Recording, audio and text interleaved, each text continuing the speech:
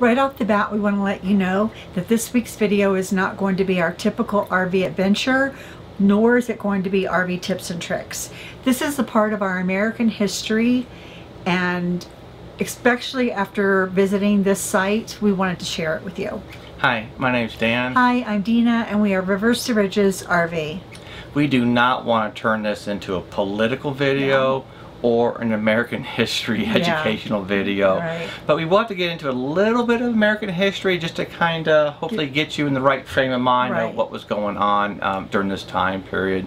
The other thing we want to mention right off the bat too is if you happen to see all that garbage Oh behind goodness. us, Please ignore it.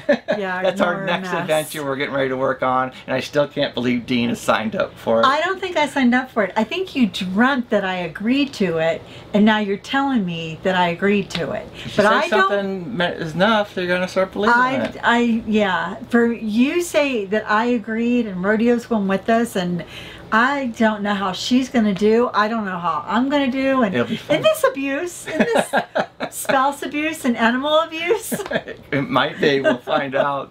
this is going to be an interesting one. Anyways, we want to talk a little bit about the Little Bighorn Battlefield National Monument and how we even came to, to go there. Yeah. We were in Cody, Wyoming, and we were driving to Custer, South Dakota. And about halfway in between, we ended up stopping at Sheridan, Wyoming. And honestly, one of the reasons why we stopped there was we wanted to go to the National Monument, the Little Bighorn Battlefield National Monument. Sheridan, Wyoming is about an hour drive south of the monument. So it's just, it was kind of a good place for us to stop. It was Right. along the way and close enough to the monument that we could go Right. to. Now Sheridan, honestly, we don't know, we didn't know anything about the Right. the the town. We did find out, eight o'clock p.m. It is closed down. I think it's more like 7 p.m. it could it was be crazy. but at least 8:05 p.m. That town is wrapped up and in bed. You do It not see a soul out. But it was a very clean little Yeah. town. Population about 18,000. Right. They did have some really nice little bike trails and, and Oh, jogging yeah. trails as well. I was able to go jogging. Dina was able to ride her bike. Yeah, I think and- it's called the Bird Trail Park or Bird Trail, Uh, maybe, something like yeah. that. It was, um, beautiful uh, trail though. very, very, nice. very nice. Now, while we were in Sheridan, we stayed at an RV park called Peter D's. And this was actually kind of cool. The RV park Yeah, is, there's really no amenities there. there's none. They, of course, they do have a bathroom. Bathroom and showers. bathroom and showers, and that's really about it on on the grounds. The but place is spotless. yeah, don't let that stop you. Right? No. Um, oh goodness, no. we enjoyed our time. The the the RV out. park is kind of sitting in the middle of a big horse pasture. Or Yeah. I should say, there's horse pastures surrounding, Surrounding the RV park. cattle. There's cattle and horses it's in very wide open hilly areas. So it's kind of a nice, It is very very, very, nice and- relaxing. Yeah, Right. very relaxing. The owners, Peter and his wife Barbara. Barb, Barbara. Barbara, they work their butts off. Adorable. I think they're the only two people who Oh, actually work in the campground. We never saw a one other worker, not even for Yeah. the restrooms. Um, so I give them credit. Um, Mowing, they, cleaning they, up, They seem to do everything. running the office, doing The everything. yeah, the bathrooms are spotless. They do also have. Barbara has a vegetable garden in the middle of the kitchen. Don't campground. go, don't go picking Yeah. anything out of the garden. Ah, ah, no, no, ah. no. That's a big no, no, no. But you can go to their office. Yes. uh, buy some vegetables there, and we actually purchased some jams, that Bar- Barbara couple. made as well. And you just finished the I just last today, of the apple cinnamon. apple cinnamon, so we have to go back. Um, and the choke, choke, choke, choke cherry. cherry. was the other one. Was really, really good. Really too. yummy. I wish So, we'd gotten more. Yeah, those were really, really and good. you can buy the vegetables. Did you already say? yeah, you can buy the vegetables up yeah. there as well too. So their office is an old barn Yep. that they had moved to this particular location um, probably 20 years or, or more ago. And they've done a little bit of renovations to the barn to make it it, a, and- make it into an office. So now let's get on to the, the little Bighorn Battlefield National Monument. Yeah. Like we said a little bit earlier, the Little Bighorn National Monument is about an hour north of Sheridan, Wyoming. And if you're not sure what it is, you may may not have heard it. You might be like me. History was a long, long time ago for us, so we forgot a lot of this stuff. We won't say how long ago. a couple years. Yeah. We'll leave it at that. A couple years. Yeah, a few. But you may have heard of Custer's Last Stand, and it's one and the same. This this is where uh, uh, Custer, you know, fought his last battle, basically. So at an extremely high level, what was going on was in 1868, a treaty was signed with the Plains Indians um, at Fort Laramie. And basically, what the treaty said was the Indians can have all this land around the Black Hills of now South Dakota and all this all the surrounding area as well. It was supposed to be really really good hunting grounds.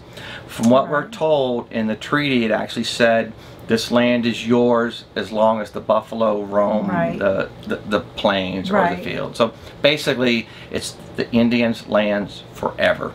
This was 1868. Now, just a short five years later, all that came to a screeching halt. Yeah. What happened was there was an expedition going out west. I don't remember exactly the purpose of the expedition. I, I believe it's just fact-finding type right, stuff right. but there was some prospectors in there as well and they ended up finding gold in about 1874 i believe so now they found gold in that same black hills area so lo and behold it didn't take very long for the word to get back and a lot of people a lot of white people uh, coming from the east heading west, west. wanting wanting to get rich quick now the big problem with this is this gold area is on the Indians' land that was promised to them. So as you can imagine, there's a lot of fighting going back and forth. The the miners or the prospectors, they wanted their gold, so they would protect Yeah. it. You know, they would get attacked by Indians, they would fight and back and forth. The Indians, this was their land, promised to them. Right. They didn't want the prospectors there and, and getting taken over, so they were fighting for their land. So a lot of a lot of stuff going on back and forth. And this happened for a little while, and finally the U.S. government said, "We got to put a stop to this. We got to just make the Indians put them on a reservation, or you know, there's really no polite way to say this: get rid of them." Yeah. That's basically what was happening at the time. And this is when, in 1876, June of 1876, uh, General Custer, and this actually brings up something we just learned, yes, as a matter of fact. You may have heard of General Custer, and you may have heard of Colonel, Colonel. Custer. You're right. Both of those are right. yep. Custer was a general, actually a temporary general in the Civil War. He fought during the Civil War. Once the war was over, he lost that temporary rank as general and he went back to a colonel. So you may hear Colonel Custer and you may hear General Custer, but at the time of the battle, he was a colonel. Right. The U.S. government sent the 7th Cavalry and some, and some other military as well out to round up the Indians, force them to fight.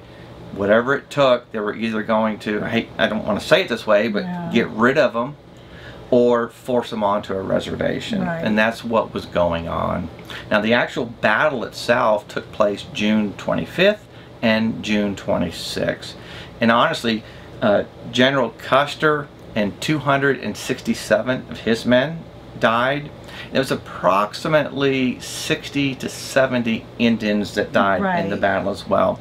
Now, on the Indian side, there, that's a rough estimate. It was, uh, from what we read, what we were told, uh, right after the battle, a lot of the Indians were either buried or moved um, for their ceremonies and, and, right. and burial right. somewhere so there's else. no record with There's the official no written number. record. Well, something else I thought was really interesting. I never heard this from anybody. Yeah. During the battle, Custer actually lost four of his relatives in the same battle. So you had Custer, you know, died. His brother, nephew, and two other relatives. I don't, I don't know the relationship. They all died in the same battle. Yeah. And this was something we actually saw when we went to the the Last Stand Hill. Uh, we saw where Custer's uh, gravestone is, and there's another gravestone fairly close to it with another. I forget the guy's first name. His last name was Custer. At the time, Yeah, just we was kind of thought it was coincidence, Yeah. but apparently it was one of his relatives. Yeah. So when you get to the National Monument, you go through the main entrance, and roughly Yeah. 200, maybe 300 yards down is a visitor, Visitor center. center.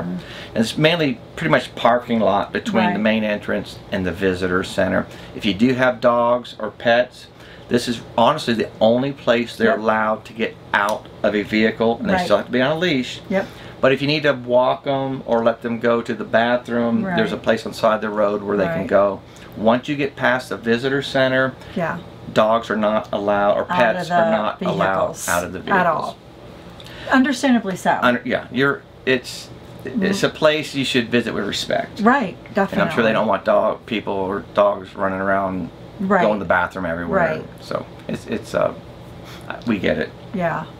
The visitor center itself is pretty, it's kind of small. There is a very small museum in there. You could probably do the whole museum in a, in a half an hour, 45 minutes if you've read everything. But they do have some pretty neat artifacts as well. Now the thing that we did, and I'm really glad we did it Yeah. this way, we went to a, at the back side of the visitor center, we went to a ranger talk. It was Yep. about a half hour talk. And it was really good because the ranger explained kind of what I just did at an extremely high level, and I'm sure I butchered it too. But he explained very well the history, what was going on at the, at the time of you know 1867, everything that was going on. He knew the history of Custer, the Indians, the type of Indians, uh, just everything. Very very interesting. So when you go to the ranger talk, you kind of get a really good feeling Right. of what was going Yeah. on A better and understanding. the and- politics and, and just Yeah. everything that was going on that at that time and then when you go take the drive to the actual battlefield a lot of it makes more sense Mm-hmm. Right. What was the day of the battle? What was hundreds of years before the battle? Crow Indian land. The Crow looked this as all their land. Uh, they didn't want the Sioux and the Cheyenne here. They wanted them out of here. Out of the west, Bozeman, Montana, Colonel John Gibbon, 500 infantry. Out of the east, Bismarck, North Dakota, Fort Abraham Lincoln, General Alfred H. Terry, with a thousand soldiers, including all 12 companies of the U.S. 7th Cavalry under the command of Lieutenant Colonel George Armstrong Custer. So you see, Custer actually was only one of 2,500 soldiers, all out here trying to do the same the drive itself is about a four and a half mile drive Right. and there's a lot of little stops along the way and we found these extremely interesting Yes. i believe there's about 20 kiosks I believe there's, yeah, you're probably right. 20-ish 21 yeah. 22 kiosks now the neat thing Kiosks. with the kiosks Kiosk I know what I was talking about. that have the information on Yeah. them. But go ahead. But what we really, really Yeah. liked about these was they had little um, barcodes or, or scan Scan, scan yeah. codes you could scan, and then you could actually have a, a, a somebody would narrate On- what was phone. going on on Yeah. your phone. So you could stand in front of this little kiosk. You're looking out over a piece of the battlefield, and you have somebody narrating. As to you. you're just- uh, you know, right. this is where the Indian encampment was. This is where all the warriors came up from the, the Little Bighorn River. To your The right timber. is where Custer Yeah. was at his um, last stand hill. Things like that. And as you move down the drive, or Right. from kiosk to kiosk, you do the same thing. You scan the next kiosk, and it gives you more information about what Right. happened at that that piece of the battlefield Right. right?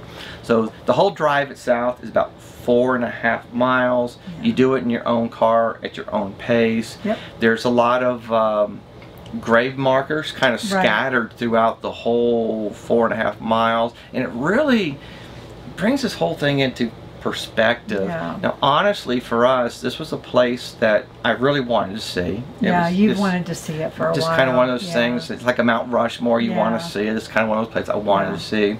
So we were happy to be there, but at the same time, it's just very somber, right? Very somber It's and emotional. Very mixed emotions. Yes, and people yes. died there. Yeah. Both sides fighting for what they believed in. Right. Right. So I mean, again, you're standing. Or, you know, somebody fought and gave his life for what he Right. believed in. Both sides. Um, and it's, it's just very emotional. So Yeah. it's again, it's a part of American history. We're so glad we had the opportunity to go there. Well, you was- said that you felt you had the same feeling come over you as when we we were at the Civil War battlefields. Yeah, we yeah. were at some of the Civil War Years battlefields ago. years ago, and I may have mentioned this in another video. But when you're when you're sta- Yeah. when you when you look at a picture in a history book, a, a picture of a Civil War battlefield, Yeah. when you look at it, and now you're actually standing in that same exact spot, it just brings it home. Yeah. I had that feeling. differently. yeah, I had that feeling at the Civil War battlefields. I had the same feeling here Yeah. as well. So Yep. it's a place to be respected. Um, no matter what you feel about what happened, Yeah. you have to go there and, and just respect. Now, towards what we did is we, after the ranger talk, we did the drive, and we Mm-hmm. kind of saved the monument itself, monuments, um, for last because we thought it would make it, it would kind of be more meaning to it Meaning- yeah. after you saw what happened. Yeah. So there is a monument uh, where Custer and roughly 40 of Right. his men um, died. It's called the Last Stand Hill. There's a monument there. I believe there's actually still a lot of the soldiers who are buried beneath the monument. There's actually another place that has a lot of the horses. Uh, they were all buried there as well.